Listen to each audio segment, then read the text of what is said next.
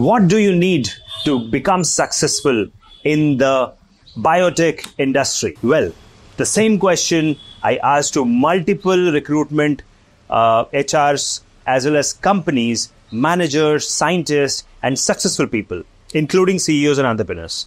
And they all told me their feedback. What is needed? What exactly is lacking? And we have taken all of that feedback, all of that observations, and now we are bringing up something amazing for you.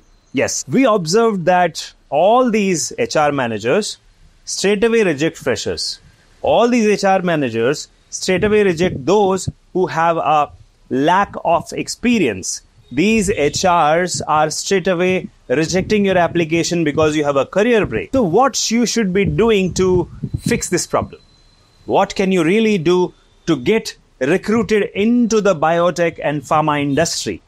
Well, all of that feedback we have designed and devised a new concept which we'll be launching very, very soon on Biotecnika. So please stay subscribed to Biotecnika on Telegram, YouTube, WhatsApp, wherever you are, and LinkedIn. And we will be launching this new concept after interaction with industry experts. This particular program is going to be by the industry, for the industry, but will deliver success to all the subscribers of Biotecnika. How does it sound? Let me know in the comment section.